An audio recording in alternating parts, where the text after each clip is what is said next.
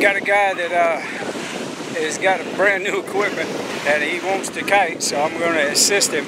I'm going to kind of go over the safety procedures with him and things because he's pretty new at it, but uh, I just can't turn nobody away when they ask like ask good questions, and I'm going to get him out if I possibly can in the safest way I can. But that's at this beach. That's what you'll find. You'll find kiteboarders that are willing to help you, and uh, people help you launch and land. I'm working on training uh, some guys from right down there at 876 to be able to launch kites. Because see, I'm leaving at the end of April, and nobody's here to launch your kite for you or help you with uh, landing or anything.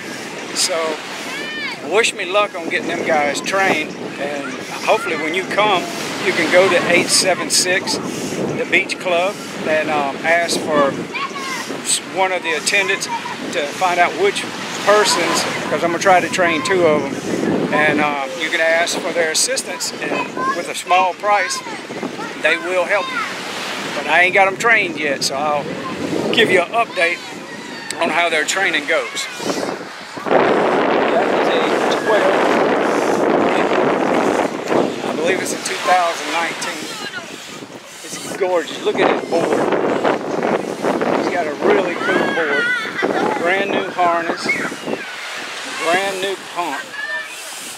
Look at that pump. So we got people in the way, but we'll just walk. Yeah, it's going to make it difficult when we got that kind of many people in the way. It makes it very difficult, but we'll figure it out. All right, everybody.